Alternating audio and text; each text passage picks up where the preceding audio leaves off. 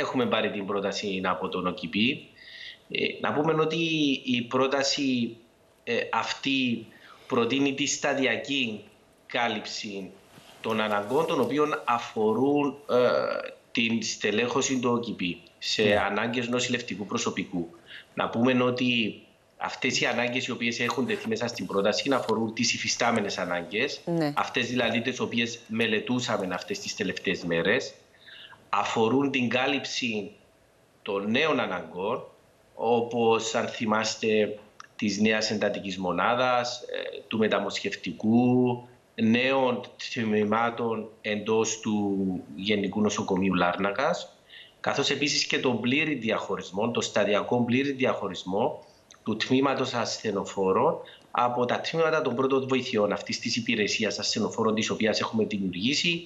Η υπηρεσίας αυτή που αυτή τη στιγμή λειτουργά εντός του ΤΑΕΠ, με προσωπικό του ΤΑΕΠ, μέχρι το τέλος του Σεπτεμβρίου, ε, μέχρι τις αρχές του Σεπτεμβρίου, ε, να έχει και αυτή η υπηρεσία πλήρως αυτονομηθεί με δικό της νοσηλευτικό προσωπικό. Δηλαδή, μας λέτε, κύριε Πετέλη, ότι το χρονοδιάγραμμα, η σταδιακή αυτή η κάλυψη των αναγκών θα γίνει μέχρι το Σεπτέμβριο ή θα αρχίσει από το Σεπτέμβριο; Θα αρχίσει από τα σήμερα, από αυτόν τον μήνα, με ναι. την πρόσληψη 100 περίπου νοσηλευτών, για να καλυφθούν οι άμεσες ανάγκες στελέχωσης και σταδιακά μέσα στους επόμενους μήνες θα ολοκληρωθεί τόσο με την ολοκλήρωση των υφιστάμενων, κάλυψης υφιστάμενων αναγκών, των νέων αναγκών, αλλά και του διαχωρισμού της υπηρεσίας ασθενοφόρων από τα τμήματα των ΤΑΕΠ. Να πούμε είναι μια πρόταση την οποία έχουμε δει θετικά. Είναι μια πρόταση η οποία έχει συζητηθεί εκτενώς χθες σε τηλεδιάσκεψη στο Διοικητικό Συμβούλιο, στα συλλογικά μας όργανα και έχει τύχει της έγκρισης. Μάλιστα. Άρα σας βρίσκει θετικού την εγκρίνεται ναι.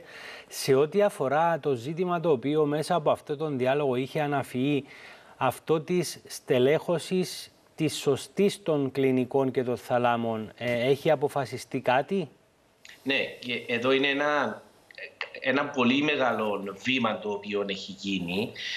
Ε, γιατί στις συγκεκριμένες συζητήσεις, στο συγκεκριμένο project το οποίο είχε γίνει αυτές τις τελευταίες μέρες, ναι. δεν, δεν είχαμε δει μόνο την υποστελέχωση. Είχαμε αναλύσει και κάποιες φόρμουλες στελέχωσης ε, των τμήματων ε, εξειδικευμένα. Δηλαδή, έχουμε πάρει όλα τα τμήματα γενικής παθολογίας, γενικής χειρουργικής, τμήματα πρώτων βοηθειών, εντατικές, όπου αντιλαμβάνεστε σε κάθε από αυτά τα τμήματα με τις ιδιαιτερότητες του, ο τρόπος τελέχωσης είναι διαφορετικός. Ναι. Δηλαδή διαφορετικά θα νοσηλεύσω και θα έχω αναλογίες σε ένα τμήμα γενικής χειρουργικής ή παθολογίας.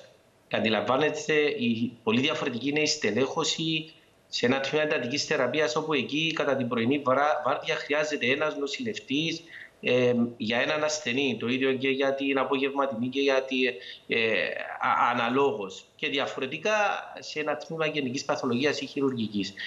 Αυτές λοιπόν οι φόρμουλες έχουν ε, συμφωνηθεί με τον ΟΚΙΠΗ σαν πρώτη φάση.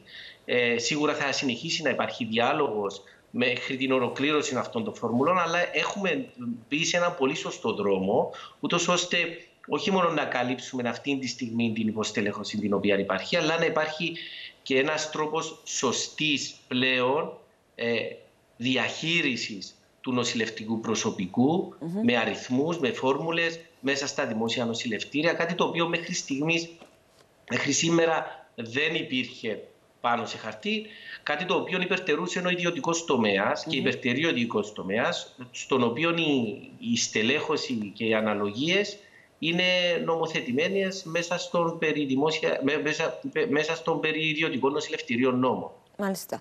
Κύριε Πετέλη, είχατε επαναλάβει στην τοποθετήσή σας τρεις φορές την ανάγκη του διαχωρισμού του ΤΑΕΠ από την υπηρεσία ασθενοφόρων. Αυτό πώς θα βοηθήσει στην καλύτερη, καλύτερη λειτουργία τόσο των ασθενοφόρων όσο και των ΤΑΕΠ; Τα μέγιστα.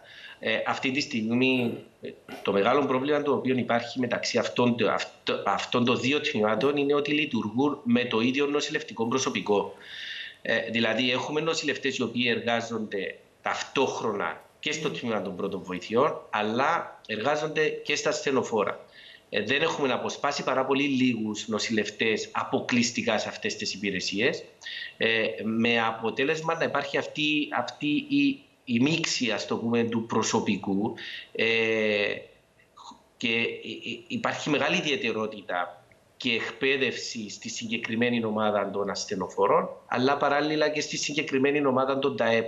Και το άλλο πρόβλημα το οποίο υπάρχει είναι ότι μπορεί να έχουμε κάποιος νοσηλευτής ο οποίος να εργάζεται τώρα στο, στα, ε, στα ΤΑΕΠ και να παίρνει μια κληση και θα πρέπει να αφήσει τον ασθενή τον οποίο έχει να τον παραδώσει σε κάποιον άλλον για να μπει στο ασθενοφόρο για να πάει να κάνει την κλίση, πράγμα το οποίο ε, υπάρχει ο φόβος να χάσουμε πολύτιμο χρόνο, ναι. ε, καθώς επίσης και ότι αυτή η συγκεκριμένη, ε, το συγκεκριμένο τμήμα των, ε, των ασθενοφόρων ε, είναι εξειδικευμένο όχι μόνο για τις κλήσεις, αλλά είναι εξειδικευμένο και για μαζικές καταστροφές, για επίγειες, για, ε, για κάλυψη πολλών άλλων αναγκών, για ε, καταστάσεις ε, εντός της θαλάσσης, όπου αντιλαμβάνεστε είναι ένα εντελώς ξεχωριστό τμήμα, το οποίο θέλουμε να έχουμε αυτονομημένο,